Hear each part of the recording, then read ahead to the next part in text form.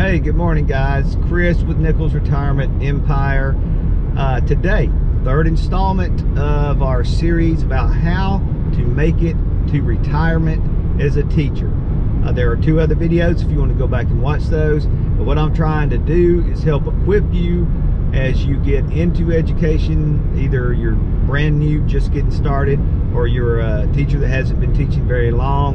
And I'm trying to give you some things that are going to help you to uh, last, to help you stay in the field and to make things a little less stressful because it's already a super tough job. You can tell by how many people quit and uh, all the things, the negative things that are, you know, you're hearing or you're, you know, all that kind of stuff. So it's already hard. So I'm going to try to give you a few pointers that will help you along the way. All right, today we are looking at something that I call big picture person. You need to be a big picture person. And the reason I'm talking about that is uh, teachers are notorious, and I was the same way, especially early on. For they get in their classroom and they become completely and totally that becomes their world as far as education is that classroom and everything is focused on what is going on in that room.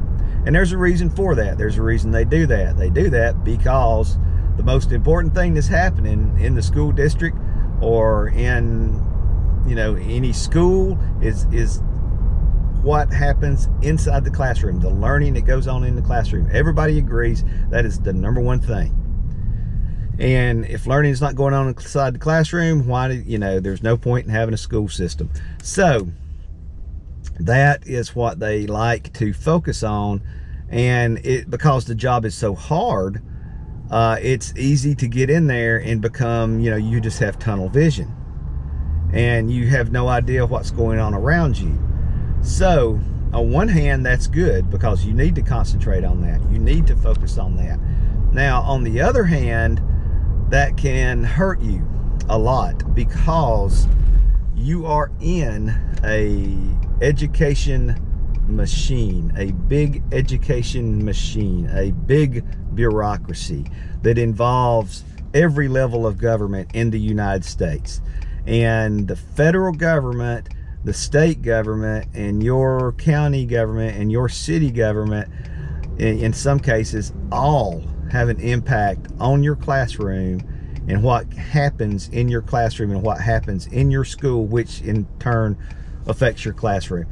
So it is, in my opinion, a very good idea for you to understand the, these kind of big picture items that are going to affect you. And there are a ton of them. But before you walk into a classroom without any knowledge of these things happening, learn about it. Learn about what the big picture is.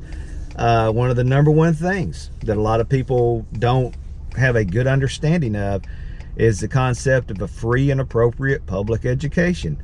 The federal government has a uh, there are federal laws that, that that guarantee a free and appropriate public education and a student's right to that and and I, I have had so many people comment on my videos and talk about how that it's a privilege to get an education, a public ed. It's not a right to get, but it is a right. And if you go into a classroom thinking this is a privilege for you to be in my classroom, and that's the way you approach it, and you don't understand why this student over here who is just totally off the wall is in my room and ruining my my teaching, uh, you need to understand that free and appropriate public education guarantees that student's right to be there.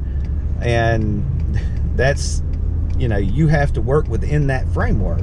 Uh, there are tons of things, you know, the other thing is you have to understand too that you're dealing with all these different groups of people and they all have different things that are important to them. Students have certain things that they want. The parents have certain things that they want. The school has certain things and you have certain things that you want. The district has things that it wants, and the state government wants this, and the federal government, and none of the hardly any of these things match up. And you're operating in that system where none of these things match up. You know, like if I'm a classroom teacher, I want kids to do good on these standardized tests uh, because it's one of the ways that, that I get scored for effectiveness as a teacher. And so it's a big deal to me that we do good on these tests. And then you got the kids who, uh, you know, the test doesn't even affect them. It doesn't affect their grade. It doesn't affect, you know, their whether they get passed to the next grade level next year. You know, it may affect them having to take some tutoring or something like that in a lot of cases.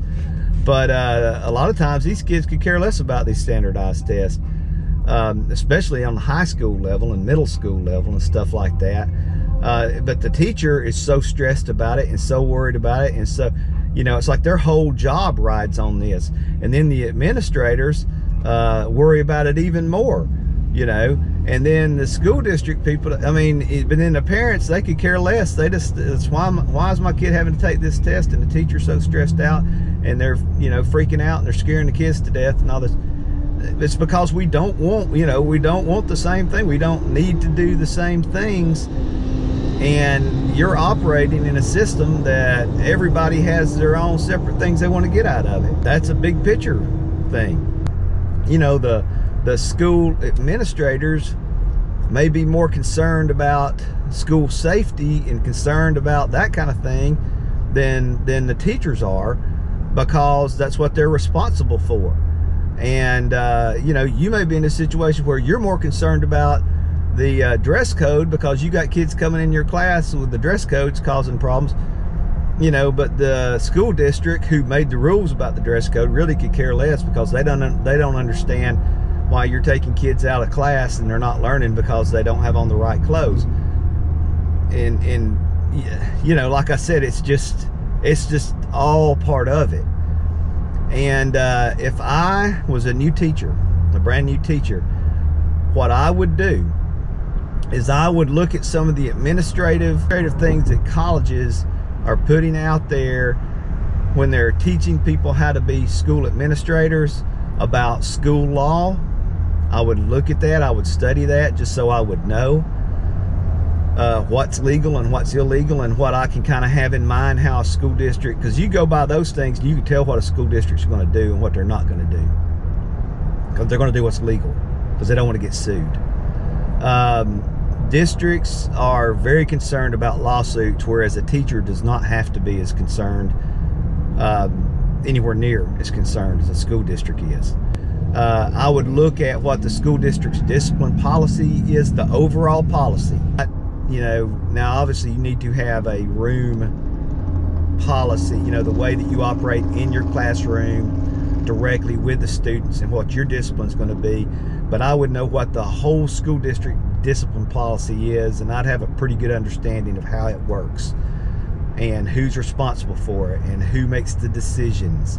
And then I would want to know in my building what is the the building policy? You know who makes the decisions how much say you know do, does a teacher actually have in it things like that what are the options for discipline you know that a student may receive you know you need to do that not because you're going to be able to change it but just so you understand what you're operating in. It's like being in a game and not knowing what the rules are. You need to know what the rules are. You know, why does the referee, you know, why is he throwing me out of the game because I did this? Know what the rules are before you just go out there and start doing stuff. And that's going to help you out a lot. Now, it may not fix your situation that you're worried about, but at least you know what the what the options are. At least you know you know, there's no reason for me to worry about this because there's nothing I can do about it. It is a federal law. So I have to operate in the parameters of this federal law. And that's one of the things I was very good at as an administrator and a teacher was I was always, you know, they're coming up with, you know, well, we need you to do this. We need this data. We need that. We need you to stop doing this and start doing that. Uh, we need you to quit doing this and focus on, you know, it was just complete change all the time and i was very good at playing in the rules and making sure that I did things as fast as I could and as efficiently as I could and not waste time. And I was able to do that because I was a big picture person. I understood that no matter how bad I got about it in my classroom, going down to the teacher's uh, workroom and fussing about it with all the other teachers who don't know what's going on, that was a waste of my time. I was better off, you know, okay, what is it you want me to do? All right, I'll do that. And then I would figure out the easiest way for me to do that. I'd just adjust to whatever. And I didn't worry about it. I didn't go home and cry, you know, like I'd get upset. You know, everybody gets upset when they have to do something that they don't want to have to do or they feel like is a waste of time. But my first probably 15 years, man, I would get so wound up you know, every time they would come up with some kind of new thing that whatever, wherever it came from, whether it came from the federal government or the school district or the state or whatever, I would just get all wound up and, you know, get stressed and all that kind of stuff. But after about, you know, 13, 14, 15 years, I started understanding, you know what, this is just the way it is. This is how education works. They're always coming up with something new there's always something that's more important than the way it used to be or there this used to be important now it's not important anymore. That's just the way it is. And i had you, you know for lack of a better way to say it i learned how to play the game. And uh, give them what they want. You know just give them what they want and then you know focus on the teaching part. You know and, and try to be as effective with that as you can. You know don't spend half your day gossiping with all the other teachers about how crazy it is that they're telling us we have to, you know, lock our doors during class and what how inconvenient it is. Now the student has to knock on the door whenever they come in the classroom. You know, teachers get wound up about stuff like that because it changes. You know, they like to do things the way they want to do them. That's why they're teachers, so they can, you know, they like to be in control and they like to teach. you know, they, they, they want that classroom world. Uh, but the problem is, is the classroom world is in an education universe and it can't exist outside of that. So be a big picture person. At least understand it. Because if you understand it, like I said, it's going to be much less stressful for you. Um, and, you know, there's probably a good reason in the administrator's world for why they are doing the things they're doing and there's a good reason why at the school district level in their world why they're doing the things they're doing. And there's a good reason in the federal government world why they're doing the things they're doing. And you know you just have to find out what the big picture is number one and then number two exist in it and be able to do your job in that situation because if you can't you're probably going to be another one of the uh, statistics of people that do not make it and uh, don't get to retirement. So learn what it is and learn how to operate in it and keep in mind that that's what's going on around you. So anyway thanks for watching guys and uh, I hope that you when you go into education equip yourself to last till retirement like me and that way you can do stuff like I'm doing today. I'm riding over to the next town to look for a specific kind of fishing hook uh, that I like to use when I fish. I got time to do that because I'm retired. So, you guys have a good day and thanks for watching Nichols Retirement Empire